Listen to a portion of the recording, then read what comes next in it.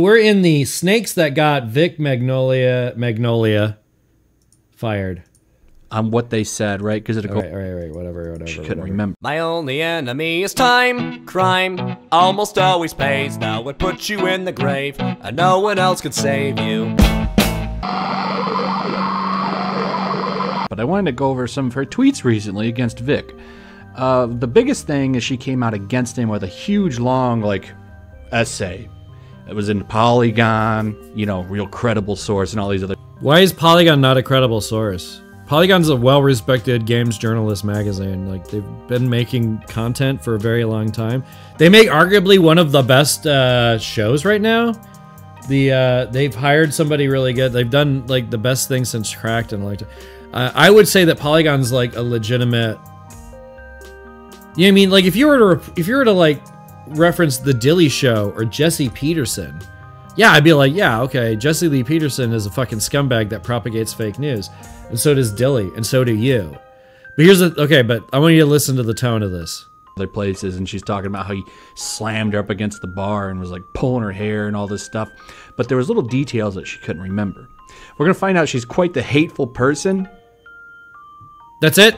No comment on what Vic may or may not have done. Here's the thing. Uh, I happen to know that when guys get an an ounce of fucking power, they usually act like dickheads about it. Oh, Michael, how do you know that? Well, okay, if he's gonna go by anecdotal evidence, then I get I get to because he's not going by anything. He's just like posturing whatever the fuck he wants to posture, right? He says he reads it in the tone that he wants to read it. Because all I read here is somebody legitimately angry. And we'll get to that in a minute. But like this fucker is like he he he frames it like, ah, well she's just saying this stuff. That he did this and this. Uh, how can can you believe it? And you're like, Yeah? Look at him. He looks like a fucking perv. And then you're like, and then people are like demanding fucking evidence evidence. Tell me how that works. Can you tell me how that works?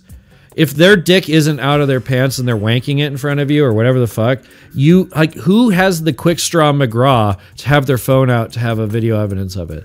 What is it their job to do like an elaborate sitcom prank where you like set him up so that he's in a position where he acts normal and then you get it? Would it what do you want? Because when they do that, you'll just call it entrapment. Do you see what I'm saying?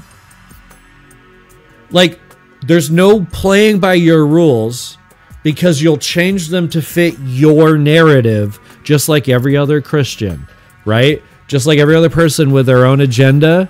You're always trying to get to eh, to Z. It is irrelevant what if it's Y plus W or X plus Z or X plus T or whatever. You're always going to get Z. You've predetermined Z. Whatever the other numbers are, you will make them fit.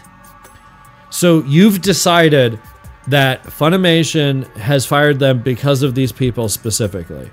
You say early on that all of the people i'm talking from writers to producers to other voice actors went to funimation and told them if they don't get rid of them if they don't get rid of vic they're going to quit So what would you do as Funimation? Do, do you see what I'm saying? So okay, so then you also go all of the produ- you've you've listed multiple jobs where people are going, no, working with Vic sucks. He sucks. Like let's take I want to take some things out of the equation. I'll do a light like you guys love doing these stupid ass analogies during debates, but I'll give you a fucking hypothetical and you tell me if it's still okay a beloved voice actor who's done a character for a really long time, but he's just shitty to everyone he works with. He's just really shitty. Is he is is he great? Eh. I mean, he's serviceable for the part that he's picked. I don't remember Ed's voice. Oh, if it isn't my favorite personification of death, the dead bird skeleton. What are you doing in town, dead bird skeleton? What's that? Oh, you're here to tell me all about how you should like and subscribe to this video because if I get more engagement, I'll be happy. Even a thumbs down helps, you fucking assholes. Does that track? Like, I don't know Vic's voice from a lineup. Do you know whose voice I know from a lineup? the guy who plays Jet Black in Cowboy Bebop. I don't know his name name, but I know Tara Strong's voice, and she does a lot of different characters. I know Tress MacNeille's voice, I, but she does different characters. But I can tell, and it takes me a second. I go, "That's Tress MacNeille," and I and I'm usually right. I know John DiMaggio's voice, even though he's uh, very good at manipulating his voice. It took me a while in something like. Um, uh, uh, oh, what is that fucking thing called? Uh, Chowder, The Adventures of Chowder, whatever it is, where he plays uh, uh, I can't remember. Rattle, rattle. You know what I mean? All right, John DiMaggio. He's a great guy. Uh, oh, hey, you know what's funny about all of these voice actors that I keep coming out with? Um, uh, what is her name? Tara. It's not Tara Strong. It's um. Oh my god, L- Lisa Ortiz is my favorite anime actress of all time. And if she's still working, if I get any kind of animation budget and I have a plucky female character at all, I'm casting her as that character. I love her as a voice actress. I think she's amazing. I don't think about Vic Mignogna at all. And it might be because I'm not a big Dragon Ball Z fan or whatever. But here's the thing if you're a big fan of something, it should be relevant to you. Uh, like the voice actor being a bad person shouldn't diminish the art for you. And in fact, if you're defending the art, then you would be the first person that would want a person to change that voice to a, a person that isn't going to go down in history as, you know, Roy Moore from Alabama. You know what I mean? Like Roger Moore was his name. Roger Moore. You don't want like Vic Mignogna is going to go down in history as a creepy pervert, and and everyone that he worked with thought he was an asshole. On top of that, but uh, any rate, uh, I want to get to some of the stuff that's like specifically about Mars Girl. Like, I don't know if it's actually on here or not, though. It might be just like everybody around it, or these are just particular voice actresses and and people like or whatever. Yeah, I don't know. All right, well, real quick, we'll do this really quick. because of his religion of we I under look at this young men of tomorrow you know i'm sure she was probably the one of the best friends to him and she just throws him under the table like that there's something funny going on here What? I don't want to talk about that right now because it doesn't make any sense. But we'll move on. I thought I would end it on this fun tweet of DC Douglas saying, Don't be this guy. Hey, men of today and young men of tomorrow, educate yourself on enthusiastic consent, toxic masculinity, victim blaming, religion induced sexual repression, rape stats and false reporting ratio, and the history of the mother effing patriarchy. Hashtag me too. Hey, uh, Yellow, I know why you don't swear too, you fucking coward. It's because your 10 minute video's gotta be clean so that you don't get YouTube flagged, so that you can dog whistle a bunch of fucking anti uh, women bullshit and be a general dickwad without anyone really noticing you. So you can get your 100,000 views over time and make your 200 bucks a month, you fucking greasy piece of shit. I will fucking physically fight you. I will fight you in real life. I just thought that was a really stupid, funny tweet that he put out. But uh, my point here is with uh, friends like those, who needs enemies, right? And What's your point? These are the people that were his friends. But look at this. Look at this. We had that Sean and uh, Sonny video. That's old, right? And these people you're going to tell me didn't have something going on. Now, I can't prove any What? of that. This is all speculation, right? All opinion. But when you piece all of this Oh, I'm a comedian. Oh, this is a religion. Really funny. It screams of an op. It screams at op A lot of people in op. in op you think just ops happen all the time you think ops are happening all the time you fucking little nerd man because of his politics, because of his religion, and the way that he, you know, maybe it's because he's a mega star. Well, was I think his career unfortunately might be kind of hurt. yeah thank fuck Hopefully he can get around it, but oh no another people white guy ruined and they wanted him out. Mm. Was he? i think people were jealous and they wanted him out there's a bunch of receipts you're such a fucking coward this guy's pathetic like what's pathetic to me is how much people like yellow flash 2 and other people have wrapped their personalities into other people do you really think that there's a conspiracy because they were jelly Oh, baby, that's cute. No, what happened was a bunch of people finally came forward because the Me Too movement broke a dam. It broke a big dam. Like, Change the Channel is a movement that I know personally that you don't know anything about, that I'm sure he has a video about somewhere that he doesn't know shit about. And then like, and then people like Linkara defend whoever, and then they come out. I guess this guy stabbed a comic. It's pretty funny. So, okay, I want to talk about something really fast. Okay.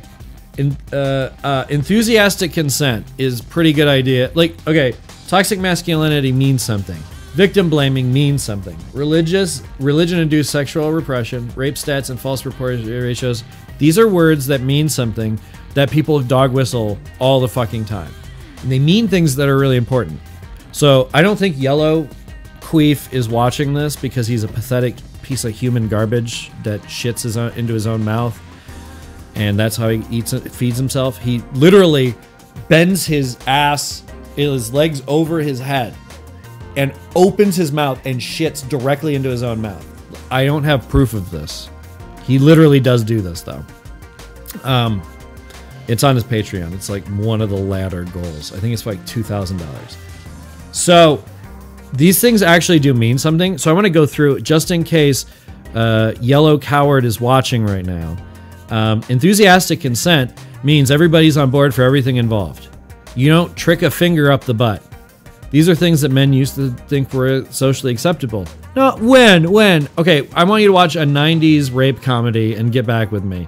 Or, or an 80s one or a 70s one. They get rapier the further you go back. Isn't that weird? Okay. It's called progression. It's called progressives for a reason. You guys always want to make it sound like progression progressives are like backwards thinking somehow. And it's in the word. Like you can't get English past me. I study it a lot lately because you guys keep trying to change how words mean, but they don't. Like they don't change just because you guys have butthurt feelings about it. Facts don't care about your fucking feelings. Okay. Toxic masculinity is this calling like a guy defending somebody you're just defending them because you want to fuck that girl that's toxic masculinity assuming that the man is the breadwinner of the relationship is toxic masculinity saying that a man can't do womanly things or show emotion or because here's the thing here's the tricky thing about human beings. When we aspire like when we ascribe that men have these thing leadership courage assertiveness and women have you know humility protectiveness empathy you realize that we are all potentially women to start and your level of empathy may vary and as someone with really high empathy i can read this guy like a goddamn book I don't need to read watch this whole video or any of his whole videos to know what he's doing is being a reactionary. You're dismissive, my dude, because everything you talk about is feelings. You feel this way. You're I'm speculating this and this and this. It's not fun to speculate in this manner because it looks like you're coming from a position of authority because you went out of your way to get a like Vegas or something and you edit your videos.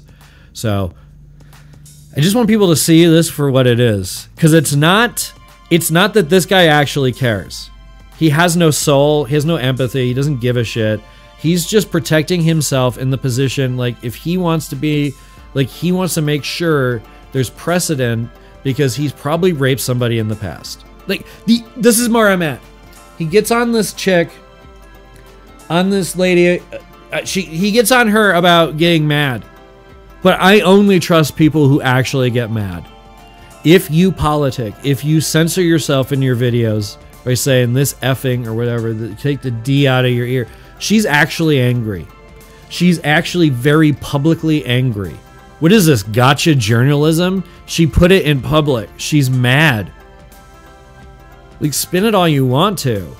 People who are mad, generally, they're not lying about this stuff. And if they are, they can't keep it up this long. It's too exhausting.